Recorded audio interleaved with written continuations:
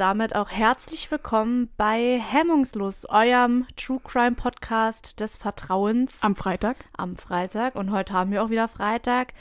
Aber Kathi ist heute nicht ein ganz besonderer Freitag, so ein oh, anderer Freitag. Ja, heute ist der endlich der erste, erste 2021. 2020 ist endlich vorbei. Wer hätte es gedacht, Leute, hättet ihr gedacht, dass dieses Jahr 2020 überhaupt jemals endet? Das stimmt wohl. Aber Gott sei Dank. Wir haben es geschafft. Ja. Ich hoffe, ihr hattet schöne, besinnliche Feiertage. Also die letzte Folge kam ja während den Feiertagen Genau. online, auch mit diesmal mit zwei Fällen. War dann ein bisschen exklusiver. Und ja, heute geht's wieder gewöhnlich weiter. Letzte Woche hatten wir ein paar Schwierigkeiten mit der Aufnahme. Ihr wisst's, das Mikrofon. Es war nicht da. Das Es war zweite Mikrofon, da. es war nicht da. Aber jetzt ist es da. Gott sei Dank. Ja, wir haben wieder, jeder hat wieder ein Mikrofon. Also Passt alles wieder. genau, kann es heute richtig losgehen. Und natürlich auch darauf, dass 2021 richtig losgeht bei uns allen. Genau. Der Impfstoff ist da, es wird besser. Ja, gibt sonst noch was zu sagen? Katja, hast du noch ein Anliegen? Nee, von mir aus ähm, können wir starten. Also wir hoffen natürlich, ihr hattet alle schöne Weihnachten. Ihr Genau, seid, und guten äh, Rutsch ins neue Jahr. Genau, ihr seid Schöne gut ins Vorsätze. äh, neue Jahr gerutscht. Mehr True Crime hören, mehr hemmungslos hören. Richtig. Aber ansonsten ähm, können wir dann von mir aus auch schon loslegen. Ja, heute behandeln wir einen Fall, der wieder ein bisschen in der Zeit zurückliegt. Also ein bisschen ein paar Jährchen. Und zwar, um genau zu sein, spielt der Fall im Jahr 1965. Hier ereignete sich damals nämlich in Indiana einer der wohl grausamsten Morde der damaligen Zeit. Es geht heute um den Fall der damals 16-jährigen Sylvia Marie Likens, welche damals gefoltert, misshandelt und letztendlich getötet wurde. Wie kam es dazu? Was sind die Hintergründe und die Vorgeschichte von Opfer und Tätern? Das behandeln wir in der heutigen Folge. Ich möchte kurz eine Triggerwarnung dazu aussprechen. Es geht um massive Folter. Wenn das jetzt nichts für euch ist, dann hört euch den Fall bitte nicht an oder zumindest nicht alleine. Ich werde auch während des Falls nochmal explizit sagen, wann die ähm, beschriebenen Folterungen, also wann es einsetzt. Ihr könnt auch gerne bis dahin hören und dann einfach überspringen. Ich denke, in die Beschreibung werde ich die Zeit setzen, in der halt die Folter beschrieben wird. Nur möchte ich diese Details einfach im Podcast nicht auslassen, weil ich mich auch generell ein bisschen mit den Foltermethoden immer beschäftigen wollte. Sylvia Marie Likens wurde am 3. Januar 1949 in Lebanon, Indiana, als drittes Kind von Lester Cecil Likens und dessen Frau Elizabeth Frances, geborene Grimes, geboren. Insgesamt waren sie fünf Kinder in der Familie, wobei Sylvia das mittlere Kind zwischen zwei Zwillingspaaren war. Einmal Daniel und Diana, die waren zwei Jahre älter als Sylvia, und Benny und Jenny, die waren ein Jahr jünger als Sylvia. Ach, wie krass, das ist aber auch schon ein krasser Zufall, wenn man zweimal Zwillinge bekommt, ne? Genau, ja, und dann zwei Jungen, nee, nee. Ein nee. Junge, ein Mädchen. Genau, und jedes Mal, genau, jedes Mal ein Junge und ein Mädchen. Krasser Zufall auf Ja. jeden Fall. Vor allem, wenn du dann als mittleres Kind auch Oh ja. geboren wirst. Bestimmt nicht so einfach. Ja. Genau, und Sylvia fühlte sich nämlich gerade dadurch, dass sie das mittlere Kind war, immer etwas ausgeschlossen in der Familie. So in etwa wie halt das fünfte Rad am Wagen, weil die Zwillingspärchen, die Haben so zusammengehört wahrscheinlich. Genau, die ne? hatten schon eher eine krasse Bindung zueinander.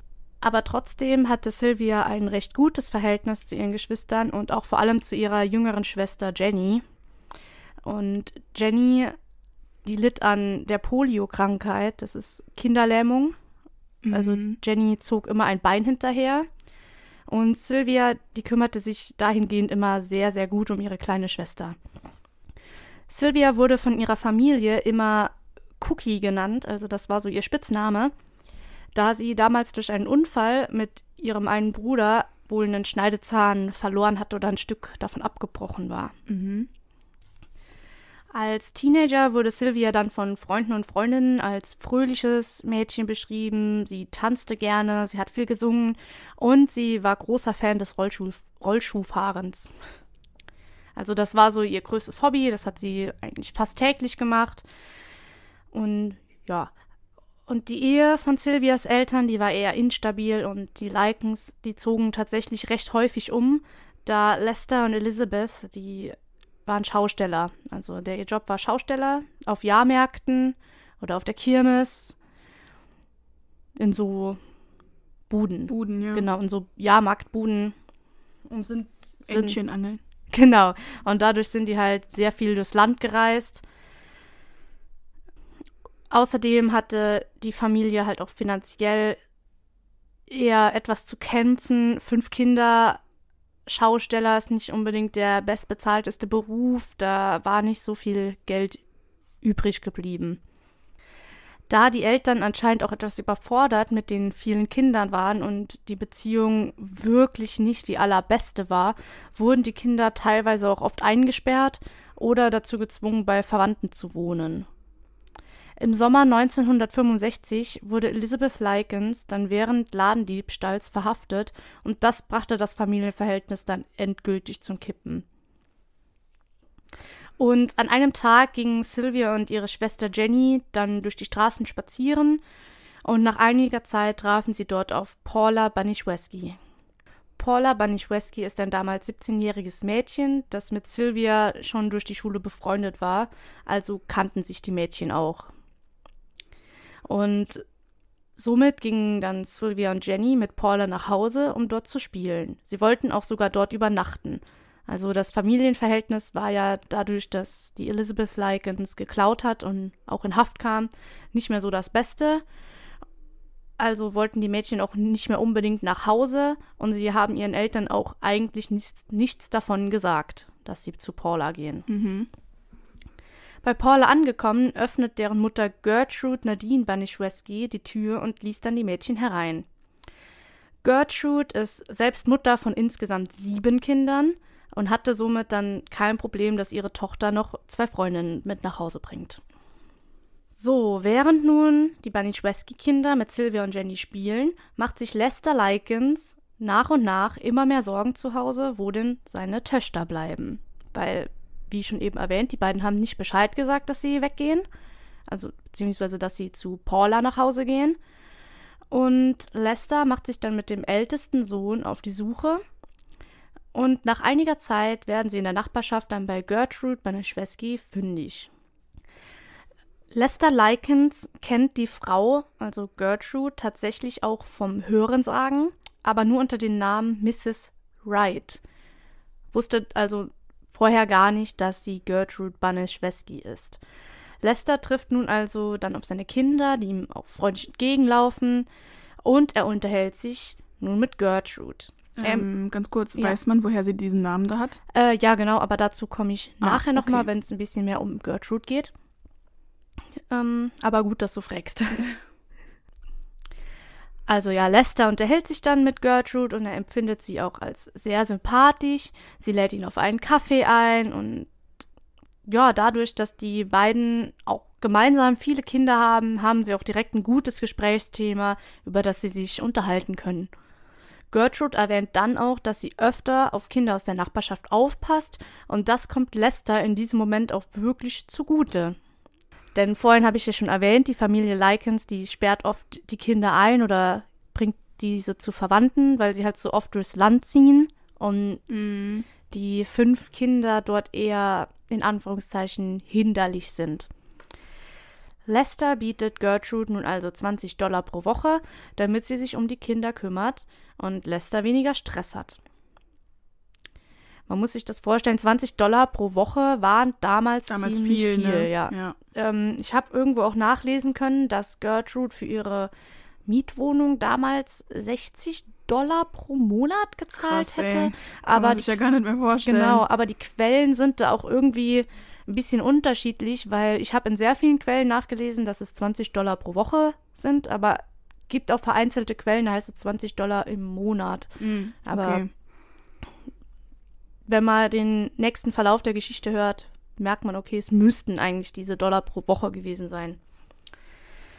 Gertrude versprach Lester, dass sie sich gut um die Kinder kümmern würde, und Jenny und Sylvia waren auch erstmal froh, dass sie Gertrude sehr mochten und auch mit den anderen Kindern super auskamen. Außerdem war Sylvia und Paula, die waren ja schon länger befreundet durch die Schule. So, und so viel jetzt erstmal vor, vorab. Aber wer ist denn jetzt überhaupt eigentlich diese Gertrude Banischewski?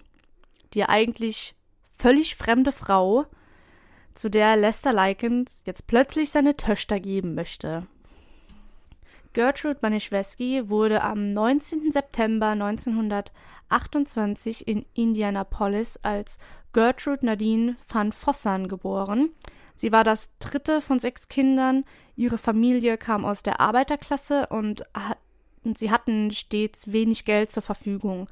Am 5. Oktober 1939 sah Gertrude ihren 50-jährigen Vater, an dem sie sehr hing, an einem plötzlichen Herzinfarkt sterben. Dadurch trug Gertrude anscheinend auch ein starkes Trauma mit sich, weil sie sehr, sehr ein großes Papakind war. Dann mit 16 brach Gertrude die Schule ab und heiratete den zwei Jahre älteren John Banischewski. Als das Paar vier Kinder hatte, ließ sie sich scheiden. Gertrude Banischewski heiratete dann Ed Edward Guthrie. Guthrie? Ich hoffe, man spricht das so aus. ließ sich aber nach nur drei Monaten Ehe erneut scheiden, da Edward keine Verantwortung für fremde Kinder übernehmen wollte. Gertrude kehrte somit dann zu ihrem ersten Ehemann John zurück. Von ihm bekam sie dann zwei weitere Kinder und sie war 34, als ihre Ehe sieben Jahre später endgültig in die Brüche ging. Also hat den Mann geheiratet, hat sich scheiden lassen und so weiter. Danach hatte sie dann einen 23-jährigen Geliebten, den Dennis Lee Wright, mit dem sie eine Weile unehelich zusammenlebte, der sie jedoch dann missbrauchte und sitzen ließ, als sie von ihm zuerst eine Fehlgeburt und dann ein weiteres Kind bekam. Das war dann ihr Sohn Dennis Lee Wright Jr.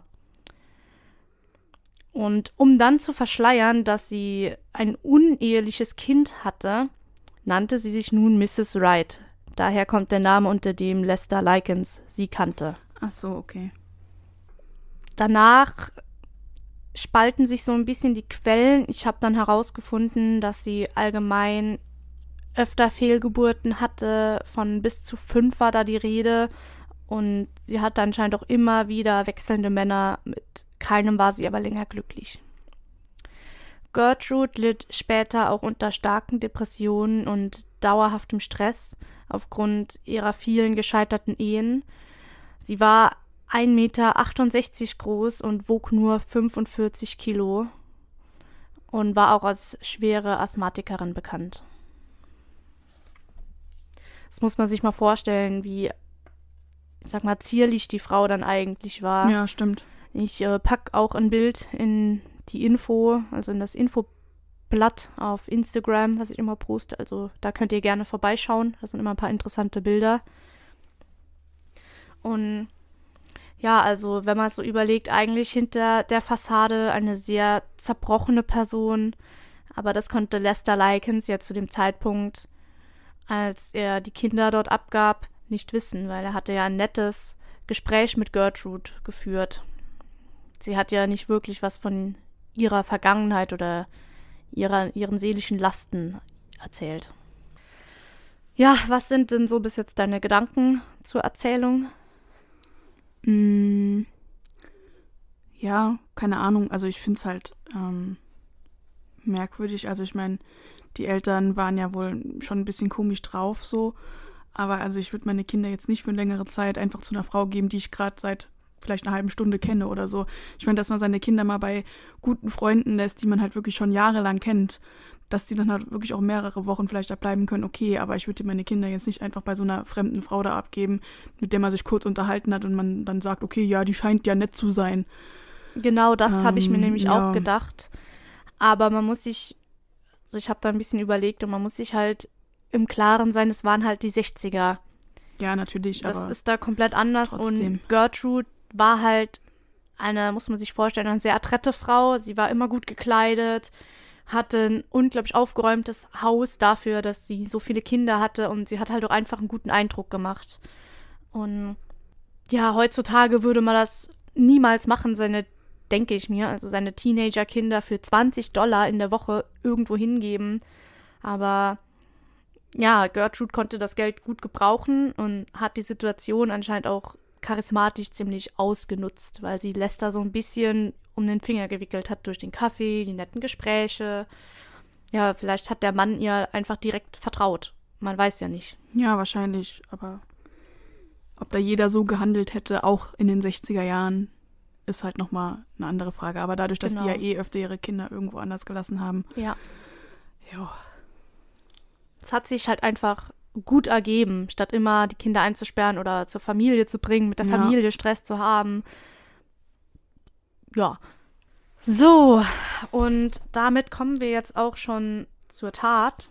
Also zum Tathergang, der ist ein wenig länger. Und ja, jetzt ist bei Familie Banischewski natürlich viel los. Denn Gertrude hat sieben Kinder, mit Sylvia und Jenny sind es insgesamt dann neun. Und jedes dieser Kinder hat natürlich nochmal viele Freunde. Ach, hat sie nur die, äh, haben die nur die Jenny und die Sylvia da gelassen? Die Genau. anderen, wie viele waren noch? Drei? Ja, noch Die drei nicht? weitere. Nee, die nicht. Nur Jenny und Sylvia. So, die Freunde von den Kindern sind natürlich jetzt auch immer total willkommen im Haus. Und die Kinder kommen auch immer gerne zu Gertrude Banischewski. Denn Gertrude hat es nicht so mit der Aufsicht tatsächlich. Okay. Die Kinder können dort also alle zusammen im Haus rauchen, trinken, wie sie wollen. Gertrude nimmt das alles nicht ganz so ernst. Die Nachbarskinder fühlen sich dann dort einfach wohl und das Haus der Banischweskis hat einfach allgemein einen unglaublich guten Ruf in dieser Straße. In der ersten Woche ihres Aufenthalts läuft das Ganze für die Likenskinder dann auch noch recht gut. Jedoch wendet sich das Blatt dann in der zweiten Woche, als die Bezahlung von Lester Likens zu spät eintrifft. Das macht Gertrude so rasend, dass sie die beiden Mädchen mit einem Paddel schlägt. Oh Gott, okay. Nur weil das Geld zu spät, also das Geld kam, aber es kam zu spät. Genau, es kam zu spät. Okay, Und die Mädchen können ja am wenigsten dafür. das stimmt wohl. Gertrude soll währenddessen dann auch Aussagen wie Gertrude soll währenddessen dann auch Aussagen wie ich habe auf euch kleinen Schlampen aufgepasst und habe kein Geld bekommen getätigt haben. Äh, vorwiegend ließ Gertrude jedoch ihren Frust dann auch an Sylvia aus und weniger an Jenny. Weil die Jenny schon gehandicapt ist, vielleicht. Äh, Könnte man ne? meinen, aber dazu kommen wir später so, nochmal. Also, aber es ist eine wichtige Information, dass sie vor allem es an Jenny aus, äh, an, an Sylvia ausliest, nicht an Jenny. Ups. Und auch trotz dessen, dass die Bezahlung die darauffolgenden Wochen dann immer pünktlich kam, hatte Gertrude anscheinend Gefallen daran gefunden, dem Mädchen immer noch vorwiegend Sylvia weh zu tun, beziehungsweise sie zu tyrannisieren. Interessant ist dann auch, dass tatsächlich die Eltern der Mädchen immer wieder mal zu Besuch kamen, um nach den Rechten zu sehen, zu schauen, wie es ihren Kindern geht. Aber Jenny und Sylvia haben sich nie beschwert. Krass, warum denn nicht? Genau, sie haben einfach nichts gesagt. Die haben einfach immer gesagt, ja, alles ist in Ordnung. Vielleicht hatten sie Okay. Angst, dass man. Ich weiß nicht. Aber sie haben sich anscheinend nicht beschwert. Man beschimpfte Sylvia immer wieder und warf ihr auch ohne genügend Beweise vor, dass sie ein Gymnastikdress aus der Schule gestohlen hat, ohne dass sie halt nicht am Sportunterricht teilnehmen durfte. Mhm. Und danach wurde ihr von Gertrude auch der Schulbesuch untersagt. Mhm. Ja, das habe ich auch nicht unbedingt verstanden, aber so war das anscheinend damals, dass du, du hast dieses Gymna Gymnastikdress gebraucht und wenn du es nicht hast, dann Ja. Durfte, durfte nicht teilnehmen. genau. Ebenso warf man ihr dann auch, also Sylvia, die Lügerei, die Unpünktlichkeit, unzureichende Hygiene vor. Also sie soll sich nicht richtig gewaschen haben und auch nicht ordentlich gekleidet. Und die Vorwürfe, die Gertrude Sylvia machte, wurden dann auch immer, immer schlimmer. Anfangs war es nur die Unpünktlichkeit, die mangelnde Hygiene und plötzlich beschuldigte Gertrude Sylvia der Promiskuität. Das heißt, Genau. Promiskuität bedeutet Geschlechtsverkehr mit ständig wechselnden Partnern. okay. Genau. Sie gipfelt dann tatsächlich das Ganze darin, dass sie herumerzählt, dass Sylvia schwanger sei. Die war wie alt nochmal jetzt? Zu dem Zeitpunkt 15 oder 16. Okay. Äh, ich glaube, sie müsste 16 tatsächlich schon gewesen sein. Mhm. Interessant daran ist aber dann, dass zu dieser Zeit eigentlich Gertrudes älteste Tochter Paula schwanger war. Aha. Genau, von einem verheirateten Mann, Oh. der nun aber nichts mehr von Paula und dem ungeborenen Kind wissen wollte, sondern plötzlich bei seiner Frau bleibt. Ja, logisch. Ja. Und statt sich dann um ihre Tochter zu kümmern, projiziert Gertrude alles, was ihr von Paula erzählt wird, auf Sylvia und lässt es an Sylvia aus. Lässt Sylvia dafür büßen. Paula Banischewski soll Gertrude dann außerdem noch angelogen haben und gesagt haben, dass Sylvia sie als Prostituierte bezeichnet hätte. Und nachdem Paula dann auch sieht, wie ihre Mutter mit der Situation umgeht, tut sie es ihr gleich und auch sie beginnt Sylvia zu schlagen und zu misshandeln. Obwohl Paula ja eigentlich vorher auch die Freundin, Freundin, war ja. von Sylvia. Eben habe ich ja kurz erwähnt, dass das Haus der Banischweskis immer reich besucht war, von Freunden und Nachbarskindern. Und tatsächlich beginnt Gertrude letztendlich auch damit, die Nachbarskinder anzustiften, all ihren Hass an Sylvia auszulassen und ab dem Punkt eskaliert dann alles. Also was nun folgt, sind jetzt explizite Beschreibungen von Gewalt und Folter. Also wenn ihr das nicht abhaben könnt, wie gesagt, ab hier vorspulen, die Zeit steht in der Beschreibung. Gertrude beginnt zuerst Sylvia die Nahrung zu verweigern und fing danach an, sie zu zwingen, ungenießbare Dinge zu essen. Sylvia musste daraufhin erbrechen und wurde na- danach gezwungen, ihr Erbrochenes zu verspeisen. Ih, oh Gott. Und das alles vor den Augen der Banischewski-Kinder, vor den Nachbarskindern und vor ihrer eigenen Schwester Jenny. Einer der Nachbarsjungen, Coy Hubbard, war damals 15 Jahre alt und ein Freund von Gertrudes 14-jähriger Tochter Stephanie, schlägt Sylvia eines Tages brutal zusammen und Paula schubst Sylvia dann aus dem ersten Stock die Treppe runter. Gertrude animiert die Kinder immer wieder, Sylvia mit Zigaretten zu verbrennen. Sie soll insgesamt über 100 Mal am ganzen Körper verbrannt worden sein. Eine der Misshandlungen führt letzten Endes sogar dazu, dass Sylvia inkontinent wurde. Also sprich, sie konnte ihren Urin nicht mehr Ja. halten. Ja. Die Misshandlung, die dazu führte, bestand darin, dass Sylvia dazu gezwungen wurde, sich eine Colaflasche mehrmals in ihre Vagina einzuführen, Gott. vor den Augen aller Anwesenden. Ab nun macht Sylvia dann immer wieder ins Bett nachts. Am 10. Oktober wird Sylvia Likens dann, nachdem sie ihr Bett benässt hat, in den Keller gesperrt. Dort wurde ihr dann die Nahrung komplett verweigert. Sie wurde mit heißem Wasser verbrüht und ihr wurde immer wieder Salz in ihre Wunden gestreut.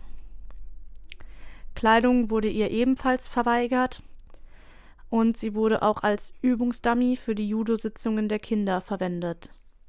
Alles klar, ey. Oh mein Mhm. Gott.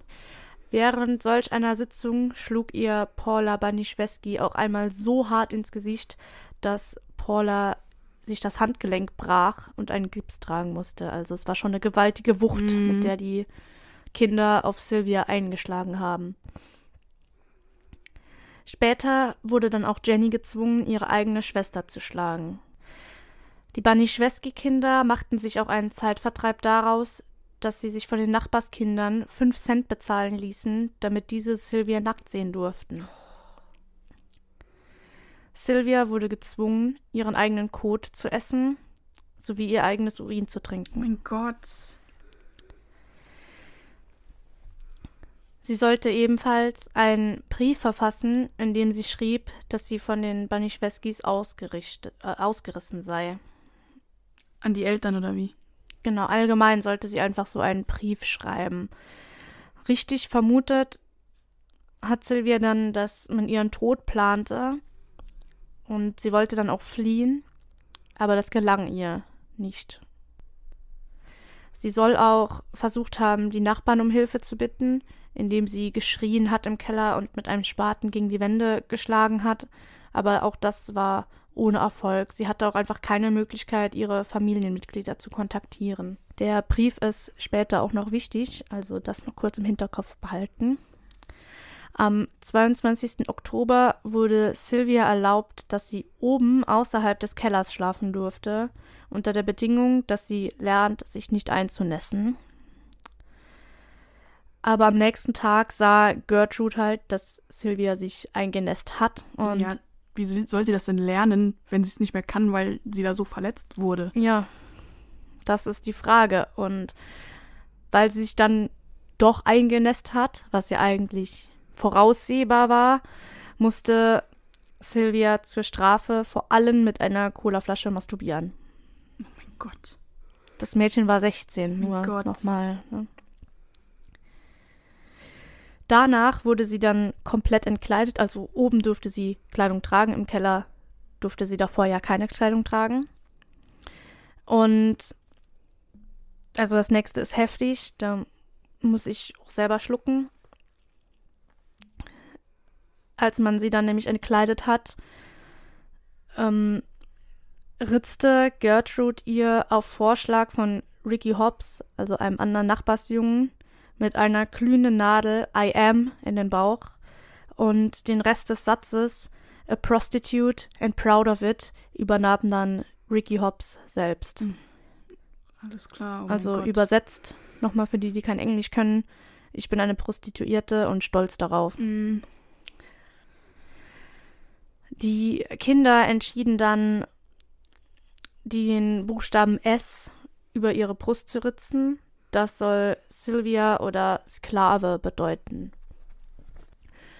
Daraufhin verspottet Gertrude nun Sylvia, dass sie aufgrund des Satzes nie wieder einen Mann heiraten könne. Und danach brachte man sie dann wieder in den Keller. Ähm, jetzt kommen wir dann auch schon nach den massiven Folterungen und Misshandlungen zum Tod von Sylvia.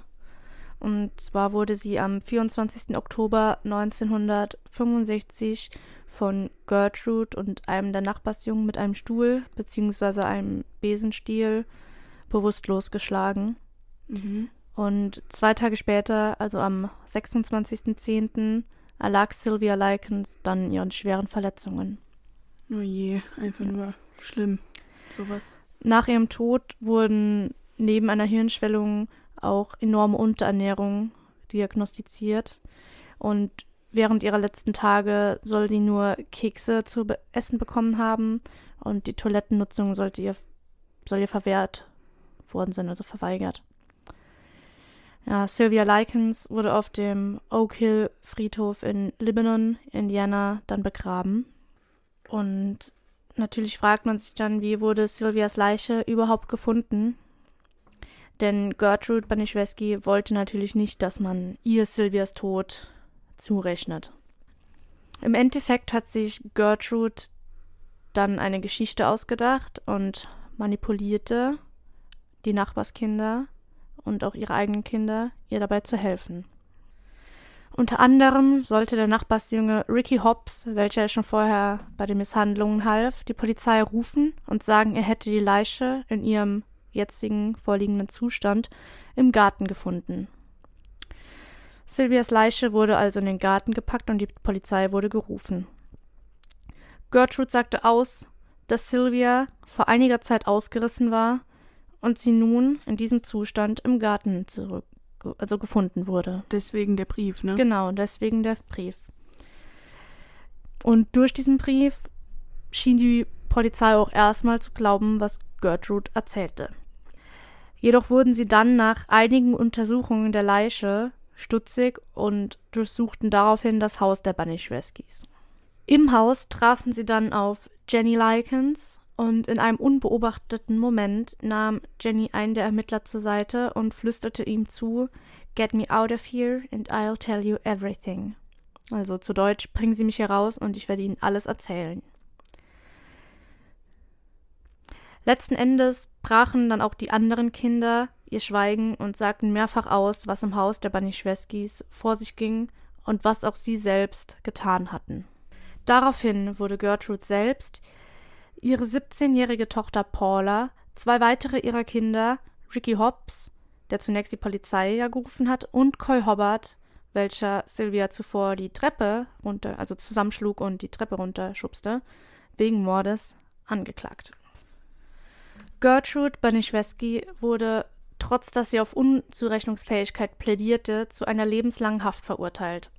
Durch eine Widerrufung wurde der Prozess jedoch dann später nochmal neu aufgenommen. Ähm, der Schuldspruch wurde dort zwar bestätigt, jedoch schränkte man das Strafmaß insofern ein, dass Gertrude bei guter Führung nach 18 Jahren Haft freikommen soll. Oha. Oha. Genau, du kannst dir bestimmt auch vorstellen, dass das einen riesigen Aufruhr in der Öffentlichkeit ja, gab. Natürlich. Ähm, das resultierte im Endeffekt dann darin, dass Gertrude eine richtige Vorzeigegefangene wurde und von anderen Mitgefangenen wurde sie sogar Mom genannt. Okay. Also anscheinend hat sie das komplette Gefängnis so manipuliert, Ja. dass sie da unglaublich gute Führung hatte. Genau. Und als sie dann nach 18 Jahren freigelassen werden sollte, kam, da, kam es zu einem riesigen Protest, also im, im öffentlichen Raum. Also der war sogar so, so groß, dass Jenny und ihre Familie eine Fernsehansprache hielten und verschiedene Gruppen sammelten Unterschriften, insgesamt über 40.000 Stück, gegen Gertrudes Freilassung. Absolut richtig. Das finde ich richtig gut, dass sie das gemacht haben. Ja. Dennoch kam Gertrude Banischewski am 4. Dezember 1985 auf Bewährung frei. Ernsthaft. Ähm, sie nahm wieder ihren Geburtsnamen mit leichter Änderung an und verbrachte dann den Rest ihres Lebens in Iowa, wo sie am 16. Juni 1990 im Alter von 60 Jahren an Lungenkrebs verstarb. Ja, da hat sie wenigstens mal noch gutes Karma gekriegt, dass sie mal doch den Lungenkrebs da bekommen hat. Das stimmt wohl. Also ihr Leben war nicht allzu lang danach. Die anderen Kinder, die am Fall beteiligt waren, also Paula, Stephanie und John Banisweski, sowie Richard Hobbs und Coy Hubbard, wurden ebenfalls wegen Mordes verhaftet. Und Paula Banischewski, welche noch während dem Prozess ein Kind gebar, das Kind nannte sie auch dann Gertrude, also nach ihrer Mutter, wurde 1966 zu einer lebenslänglichen Haft, also Begründung mit vorsätzlichem Mord, ähm, welche später aber nach Wiederaufnahme des Falls, ähm, als sie sich des Totschlags dann schuldig bekannte, in zwei Jahre umgeändert wurde. Also nach zwei Jahren kam sie dann frei, 1974 Ehrlich? war das, genau. Einige Jahre später heiratete sie dann und bekam ihr, also bekam zwei weitere Kinder. Und John Banisweski wurde ebenfalls für zwei Jahre inhaftiert. Dann kam auch er frei. Das ist ja wohl so heftig. Genau, ja. Zwei Jahre, wenn man so mir jemanden so krass gefoltert hat. Also, da fällt einem wirklich nichts mehr ein. Das stimmt. Der Coy Hubbard wurde ebenfalls für zwei Jahre inhaftiert, bevor er freikam, ebenso wie Richard Hobbs. Also jedes der Kinder wurde für zwei Jahre inhaftiert. Also die 18 Jahre waren ja schon zu kurz dafür. Ja, Und zwei Jahre einfach nur, oh. Genau. Und sie waren noch anscheinend alle in Jugendbesserungsanstalten, also nicht in der richtigen Ja, ja. Inhaftierung, sondern weil sie ja noch Jugendliche waren. Aber trotzdem. Und die äh, Stephanie Banischewski, die äh, wurde freigesprochen. Mhm. Also das war die einzige, die keine Strafe bekam. Ja, das sind so die Urteile. Einfach nur unglaublich, finde ich. Total, auf jeden Fall. Ich hoffe, man hat das, wie ich das so erzählt habe, ein wenig verstanden. Ich habe Natürlich. mich, glaube ich, ein, zwei Mal ein bisschen verhaspelt, aber es ist auch echt unglaublich und ja, einfach nur unglaublich. Jetzt habe ich mir natürlich während meiner Recherche die Frage gestellt, warum es denn hauptsächlich Sylvia getroffen hat. Das hast du dich ja auch vorhin gefragt. Du hast ja gedacht, das liegt vielleicht daran, dass Jenny irgendwie, weil sie etwas minder bemittelt war durch ihre Poliokrankheit, es dadurch nicht so abbekommen hat.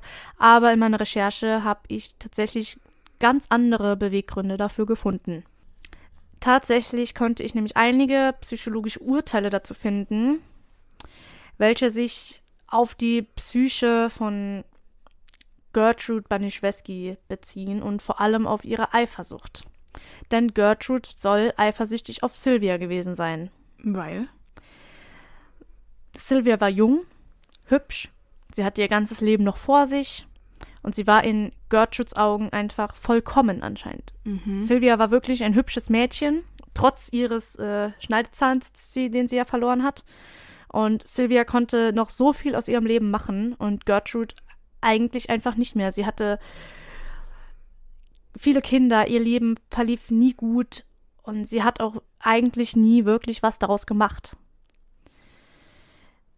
Ja, eher sogar im Gegenteil. Sie brach ja die Schule ab, sie hat Ja. nichts gelernt, sie war depressiv, sie war chronisch krank, unglaublich untergewichtig und hat somit anscheinend Sylvia für alles beneidet.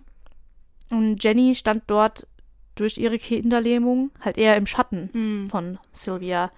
Und deshalb war Jenny für Gertrude wohl auch eher das Anführungszeichen weniger hassenswerte Objekt. So haben es einige Psychologen anscheinend ausgedrückt. Da kann man auch sich nochmal kurz auf das vorige Leben von Gertrude zurückbeziehen, mit ihren Ehemännern. Ihr Vater Ja. ist gestorben, an dem sie sehr gehangen hat, und das hat diese Frau einfach gebrochen, wie ich schon vorher im Fall erzählt habe. Und Ja. deshalb musste Sylvia anscheinend leiden, unglaublich leiden und qualvoll sterben. Ja, definitiv ganz schön heftig. Also nur wegen Eifersucht und weil ja irgendwelches Geld nicht, recht, nicht rechtzeitig kam. Ähm, ein Kind so zu misshandeln, zu foltern. Also das, sowas kann man sich ja im Traum nicht ausdenken. Tatsächlich bin ich mir da gar nicht mal so sicher, ob es wirklich an dem Geld lag, weil das kam ja danach auch immer pünktlich. ja, ja, immer also pünktlich. ausschlaggebend war wahrscheinlich einfach diese Eifersucht. Genau, aber irgendwo, ich sag jetzt mal, irgendwo musste es halt anfangen. Und Richtig. vermutlich dann da die, die Sache mit dem Geld, Gertrude, Beziehungsweise konnte es man ja darauf dann schieben, ne? Genau. So von wegen, ja, deine Eltern haben nicht rechtzeitig bezahlt. ich denke, durch ihre vielen Depressionen, durch ihre Krankheit, war sie wohl auch nicht so gelassen, wie sie es zu, also wie sie es immer tat und wie sie es halt auch vor Lester Likens vorgab. Kann man sich ja vorstellen, weil so Menschen sind innen drin halt auch einfach unglaublich kaputt. Da denkt man sich jetzt halt auch, so hätten die zwei Mädels mal besser was von Anfang an direkt gesagt, als die Eltern die noch Genau, besuchen ja, sie haben ja auch kamen. einfach nichts gesagt. Ja. Vielleicht aus Angst. Man, man weiß es nicht. Einfach nur unglaublich schrecklich der Fall. Also Definitiv. ich musste während der Recherche auch echt einige Pausen einlegen, Ja, verständlich. weil wenn du sowas liest, das es macht dich einfach irgendwo selber so ein bisschen, bisschen kaputt. Ja. Ja, auf jeden Fall. Das kann ich gut nachvollziehen. Mhm. Aber Ja. trotzdem wollte ich wollte ich den Fall auch einfach machen. Ich wollte auch unbedingt explizit halt die Folterung beschreiben. Nochmal für, damit ihr das auch wisst. Ich wollte es einfach beschreiben, weil ich finde, das ist auch wichtig zu wissen, zu was Leute halt einfach imstande Mhm. sind. Durch Gegen Kinder vor, genau, oder vor allem Jugendliche gegen halt auch. Kinder. Ja, und wenn ihr natürlich Bilder zu dem Fall sehen wollt, dann könnt ihr auf Instagram wie immer vorbeischauen. Genau. Da gibt es ja zu jedem Fall immer einen Infopost, den Jackie macht. Mhm. Und da könnt ihr dann gucken, da gibt es bestimmt einiges, was, oder? Gibt es ja bestimmt einiges an Ja, Bildmaterial. ja, also auf jeden Fall. Ich denke, es gibt auch Bilder von ähm, Jenny Likens heute zum Beispiel. Mm. Und ich glaube auch von Paula Banischewski. Die werde ich alle da noch reinpacken. Deshalb, wenn ihr daran Inter- Interesse habt, könnt ihr gerne vorbeigucken. Das würde mich sehr freuen. Lasst uns gerne auch eine Empfehlung, äh, eine Empfehlung. Lass, lasst uns gerne auch eine Rezension auf Apple Podcast da, wenn ihr dazu in der Lage seid. Das würde uns sehr helfen. Oder folgt uns auch gerne überall, wenn ihr immer ja, auf dem neuesten Stand bleiben wollt. Ja, ich hoffe, euch hat der Fall gefallen. Genau. Und dann würde ich auch sagen, hören wir uns. Ja, sind fertig. Hören wir Genau. uns nächsten Freitag wieder. Auf jeden Fall. Der Fall war jetzt auch, glaube ich, ja echt ein bisschen länger. Bin Ja. ich sicher. Mit Schneiden wird es einfach ein bisschen kürzer. Aber ja, Dreiviertelstunde. Ja, also bis zum nächsten Mal, würde ich behaupten. Bis nächsten Freitag. Tschüss.